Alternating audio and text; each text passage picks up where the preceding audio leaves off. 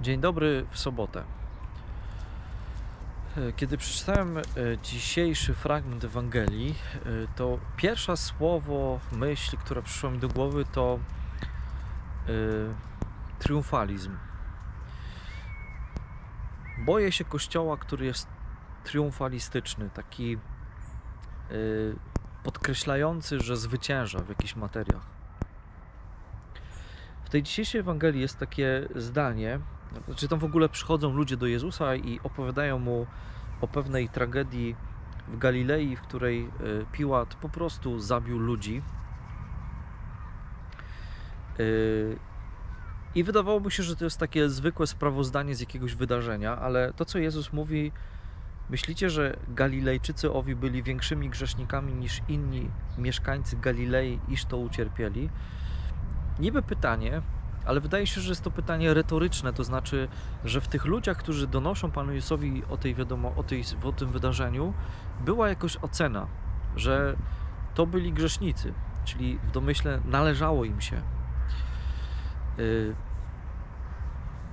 I to jest taka postawa, która czasami nam w kościele, ludziom wierzącym się włącza, kiedy y, są takie wydarzenia, w których y, wydaje się, że nie wiem, wrogowie kościoła, ci, którzy z nami się nie identyfikują, ci, którzy y, w jakiś sposób być może nawet z nami walczą, doznają jakiejś krzywdy. Czy wprost, tak jak słyszymy o tym wydarzeniu, czy to będzie jakaś tragedia. Y, Lubimy czasami, są takie kręgi w kościele, kiedy dzieje się coś złego, y, a na początku jakby to nie dotyka ludzi wierzących, to wtedy wydajemy takie piękne opinie. Pamiętacie na początku pandemii, że to y, kara za grzechy. Niektórzy nawet mówili za jakie konkretne grzechy. Potem się okazuje, że jednak wszyscy na to cierpimy i, i tak naprawdę trudno wyciągać takie wnioski. Y, Pojawia się w nas taki triumfalizm, kiedy zwyciężamy na przykład w przestrzeni prawnej, kiedy y, jakieś prawo jest ustalone tak, jak my, ludzie wierzący, czujemy, że jest dobrze i chcemy.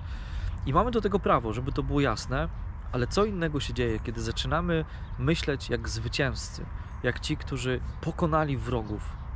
Rzecz jest w tym, że Kościół nie jest y, w świecie po to, żeby mieć wrogów.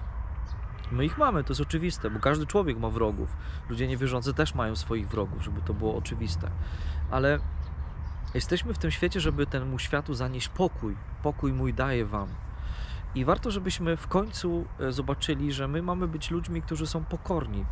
Bo ta dalsza część tej dzisiejszej Ewangelii mówi o nawróceniu. Mówi o drzewie figowym, które zostaje jeszcze pozostawione na jakiś czas, żeby mieć szansę. Pan Jezus zresztą mówi: Jeśli się nie nawrócicie, to podobnie zginiecie.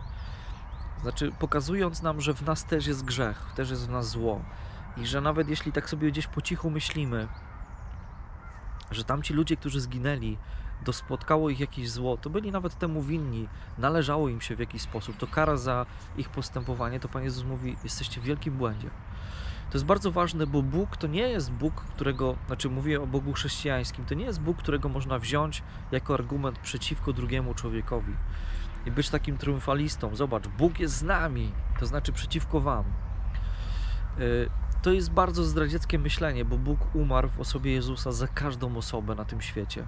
Nie tylko za tych, którzy przyjmują Jego naukę, nie tylko za tych, którzy próbują tą nauką żyć, ale za wszystkich ludzi, również za tych, którzy na tę naukę w jakiś sposób plują, nie chcą jej znać, nie identyfikują się z nimi. Bardzo niebezpieczna postawa, kiedy próbujemy Pana Boga e, chwycić za nogi i powiedzieć: On jest nasz, jest argumentem przeciwko drugiemu. Bo wtedy bardzo łatwo oskarżać ludzi o jakieś podłości, bo wtedy bardzo łatwo interpretować właśnie różne trudne wydarzenia ze świata, z życia przeciwko drugiemu człowiekowi, tylko dlatego, że nie myśli tak jak ja. A więc spróbujmy pobadać dzisiaj na modlitwie właśnie, czy jest we mnie taka postawa, w której, kiedy sobie nie radzę z przeciwnikiem, kiedy y, mojego przeciwnika spotyka zło, spotyka go jakaś, y, jakaś klęska, czy zbyt łatwo nie tłumaczę sobie tego całego wydarzenia tym, że to od Pana Boga jest, że to kara od Pana Boga, że to jest Jego wydarzenie, znaczy On jest autorem tego wydarzenia. Bo Pan Jezus wyraźnie, jeszcze raz to powtarzam, mówi: Jeśli się nie nawrócicie, podobnie zginiecie. Pokazując że we mnie i w Tobie y, jest grzech, jest powód do tego, żebyśmy zginęli, a jednak żyjemy, daje nam szansę, okopuje nas, sprawia, żebyśmy jeszcze bardziej owocowali, nawet jeśli do tej pory nie wydaliśmy owoców. To on jest cierpliwym Bogiem. A skoro chcemy być do Niego, bo tak pięknie śpiewamy na przykład na nabożeństwach czerwcowych, Jezu cichy i pokornego serca, uczyń serca nasze według serca Twego. Czyli jest we mnie pragnienie, żeby mieć serce takie jak ma Jezus, to na miły Bóg nie mogę rzucać gromami na tych, którzy są inni, którzy myślą inaczej. Nie mogę być triumfalistą, który bierze Boga jako argument, bo zwyciężam przeciwko drugiemu człowiekowi. To jest y, bardzo zła postawa i bardzo niejezusowa, bo Pan Jezus umierał na krzyżu i nie triumfował. Pan Jezus umierał na krzyżu i oddał swoje życie za każdego człowieka.